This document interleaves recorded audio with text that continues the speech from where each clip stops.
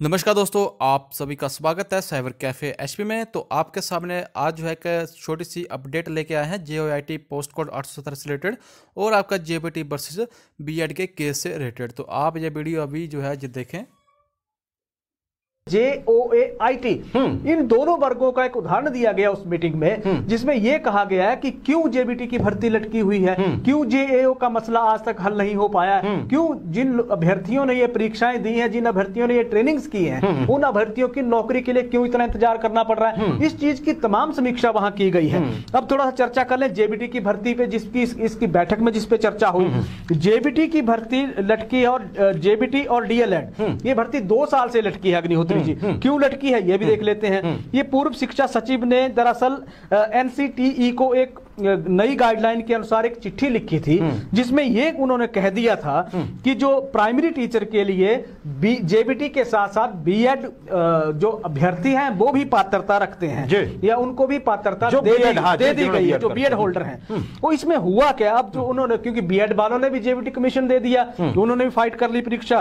और और इसमें क्या हुआ? जेबीटी वाले थोड़े से नाराज़ हो गए और ये मामला चला गया कोर्ट में। अब कोर्ट में जब मामला पहुँच गया वहाँ जब प्ली करना था या दलील देनी थी। तो दलील शिक्षा विभाग और एनसीटीई हम्म। की ओर से जो दलील जानी थी वो समय पर जवाब दायर कोर्ट में नहीं कर पाए और ये परीक्षा अब लटक गई है। एक चीज़ क्लियर करना चाहता हूँ मैं दर्शकों के लिए। देखिए इसमें माननीय अदालत का माननीय हाईकोर्ट का इसमें कोई रोल नहीं है। बिल्कुल इसमें रोल है संबंधित विभागों के अधिकारियों का। ताकि समय पर जवाब दे। कोर्ट तो हमेशा ये चाहता है कि कोर्ट को भी ये पता है कि मसला जल्दी से जल्दी हल होना चाहिए। बिल्कुल होना चाहिए। लोगों के भविष्य का सवाल है। लेकिन पहले मसला सामने ठीक से रखना तो पड़ेगा ना जी तैयारी बिल्कुल बिल्कुल। ये मीटिंग इसीलिए हुई है। इसीलिए हुई। अब आते हैं जेओ आई टी का। जेओ हम्म। आई टी का जो केस है वो बस हम्म। है डिप्लोमा और डिग्री होल्डर के बीच जी जी कि डिग्री होल्डर इसके लिए मान्य होंगे इस परीक्षा के लिए डिप्लोमा होल्डर मान्य होंगे। हम्म, तो मसला जब वहाँ फंस गया तो ये भर्ती भी अब लटक के रह गई है। अब इस पे आज आज जो मुख्यमंत्री ने कहा क्या है आज मुख्यमंत्री का स्टैंड इस पे क्या है? मुख्यमंत्री ने आज इस पे बैठक ली है राज्य सचिवालय में जिसमें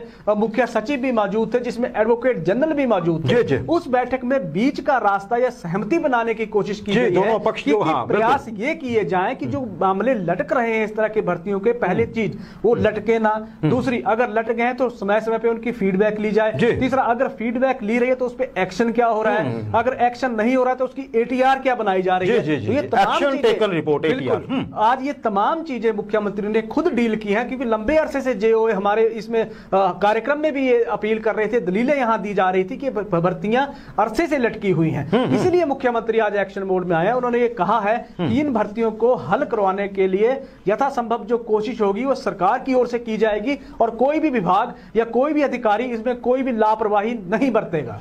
लापरवाही नहीं बरतेगा। और रजिश ये जेबीटी और ये जो है आपका आपने बताया जे आई वाले जो है ना जी, जी। इन्होंने हम पहाड़ी पे भी जब हमारा कार्यक्रम सबसे ज़्यादा कमेंट करने वाले सेक्शंस में से एक ये सेक्शन भी था।